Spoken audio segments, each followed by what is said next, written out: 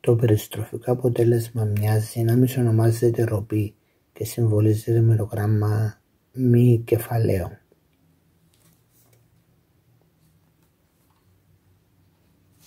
Αν τοποθετήσουμε ε, ένα βάρος στο άκρο μιας ράβδου, τότε αυτή θα περιστραφεί. Η ροπή M κεφαλαίο είναι ίση με το L επί τη δύναμη F, όπου το L είναι η απόσταση της ε, δύναμης από τον άξονα περιστροφής.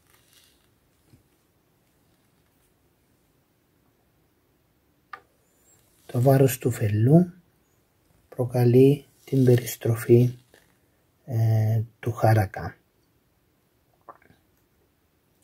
Αυτή είναι η απόσταση L, αυτός είναι ο άξος περιστροφής και η δύναμη η οποία προκαλεί την περιστροφή είναι το βάρος του φελού.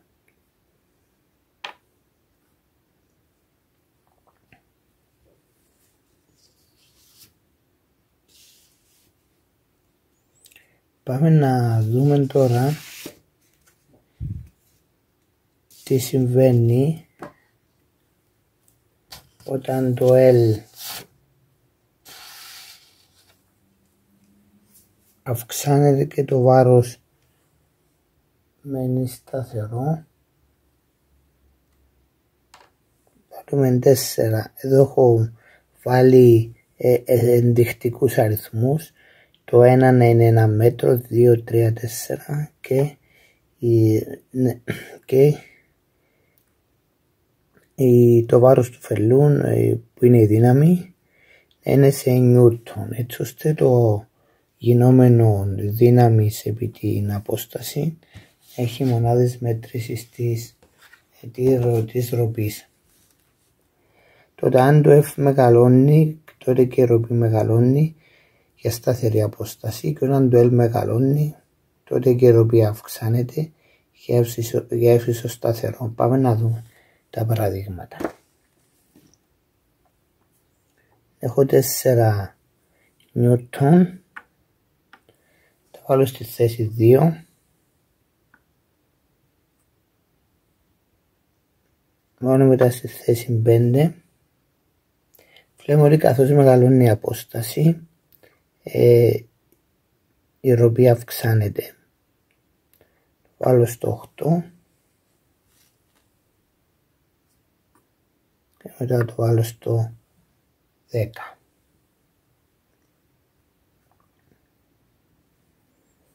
εδώ το κόκκινο σημάδι μας δείχνει ότι η ράβδος ισορροπεί Τώρα θα κρατήσω την αποστάση σταθερή και θα αυξήσω τη δύναμη αυξάνοντας το αριθμό των φελών. Βάλουμε δύο φελούς στη θέση 4, 3, 3 νιούτον και τώρα έχω 0,4 νιούτον, 7 νιούτον και έτσι βλέπουμε την, ε, το χάρακα να περιστρέφεται ε, ακόμα περισσότερο.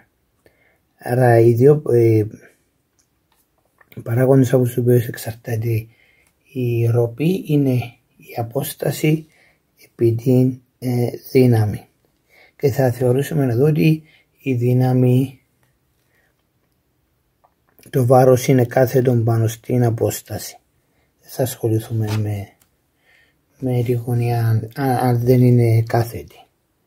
Τώρα, ε, Μπορεί να έχουμε ένα αριστερό ροπή, η οποία έχει φορά αντίθετη από το φορά των δικτών του ρολογιού και τότε είναι θετική και δεξιόστροφη ροπή η οποία έχει φορά με τη φορά των δικτών του ρολογιού και έχει αρνητική τιμή. Εδώ τα δύο νιούτον προκαλούν δεξιόστροφη ροπή σε ράβδο και εδώ προκαλούν αριστερόστροφη τροπή, τα δύο νιούτο. Και τώρα πάμε να δούμε τη συνθήκη ισορροπίας του, του χαρακά ή της τράπου. Είναι ότι οι αριστερόστροφες ροπές πρέπει να είναι ίσες με τις δεξιόστροφες ροπές. Τώρα πάμε να δούμε μερικά παραδείγματα.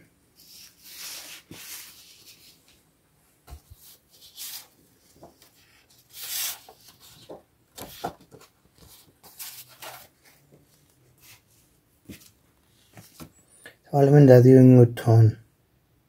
Στα 10 μέτρα έχουμε 2 νιούτον. Επί 10 μέτρα έχουμε 20 νιούτον επί μέτρα.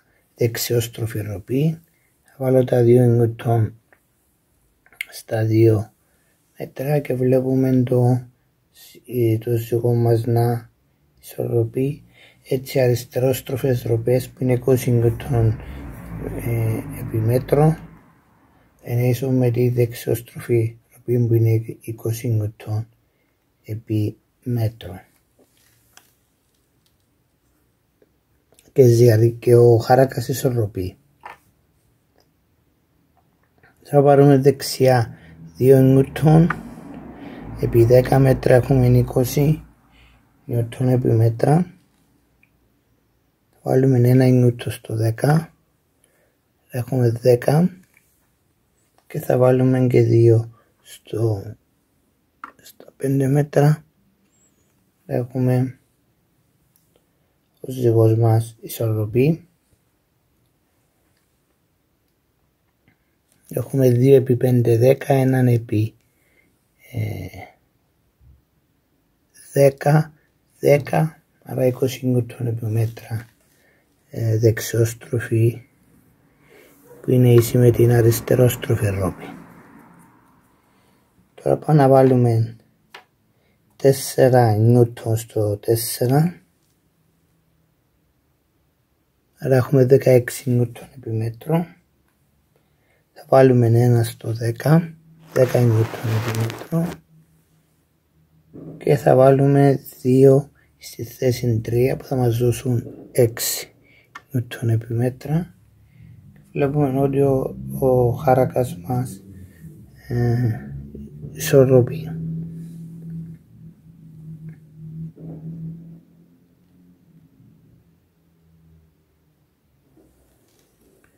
Τώρα πάμε και στο τελευταίο παράδειγμα. Θα βάλω 2 νιούτον στο 6. Έχουμε 12 νιούτον επί μέτρο. Θα βάλω 2 νιούτον στο 5. Έχω 10 και 2 νιούτον στο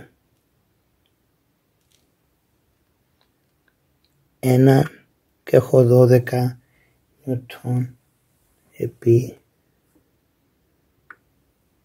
μέτρα. Άρα ο ζυγός μου ε, ισορροπεί. Είτε έχουμε 2 2 νιούτον επί 5 μέτρα, 10 νιούτον επί μέτρα και 2 νιούτον επί μέτρα έχουμε 12 νιούτον επί μέτρα και από εδώ η δεξιόστροφη είναι 6 μέτρα επί 2 νιούτον είναι 12 νιούτον επί μέτρα.